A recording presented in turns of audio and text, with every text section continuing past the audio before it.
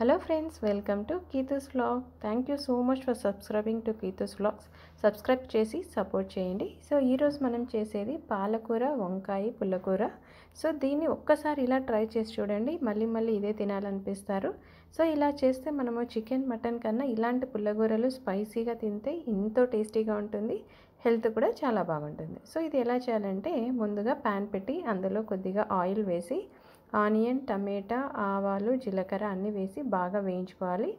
అలాగే మనం ముందుగా కట్ చేసి పెట్టుకున్న వంకాయలు పచ్చిమిర్చి వేసి కూడా వేయించుకోవాలి. అలాగే గార్లిక్ తెల్లగడ్డ కూడా వేసి బాగా వేయించుకోవాలి. ఇవన్నీ బాగా వేగిన తర్వాత మనము అందులో పాలకూర స్పినాచ్ అంటారు కదా. స్పినాచ్ అనేది చాలా చాలా హెల్త్కి మంచిది. ఎందుకంటే దీంట్లో ఫైబర్ కంటెంట్ చాలా ఎక్కువ ఉంటుంది. సో మనము ఇలా ఆకు మొత్తం ఇలా తీసుకుంటే చాలా అనేది మనకు హెల్త్కి మంచిదన్నమాట. సో స్పినాచ్ కూడా వేసి బాగా మిక్స్ చేసుకోవాలి. సో ఇందులో కొద్దిగా కొత్తిమీర అలాగే కొద్దిగా ఉప్పు ఉప్పు కూడా వేసి బాగా మిక్స్ చేసుకోవాలి. సో ఇవన్నీ మనము విజిల్ పెట్టకూడదు. విజిల్ పెడితే ఎక్కువ టేస్ట్ ఉండదన్నమాట. సో జస్ట్ మనం లిడ్ పెట్టేసి కాసేపు ఉడకనిస్తే ఎంతో టేస్టీ పాలకూర పుల్లకూర రెడీ అయిపోతుందనమాట చూడండి కొద్దిగా సా పసుపు అలాగే కొద్దిగా చింతపండు. వాటర్ ఎక్కువ వేయకూడదు. కొద్దిగా వేయాలి. లేదంటే అలా అయినా మగ్గనిచ్చుకోవచ్చు.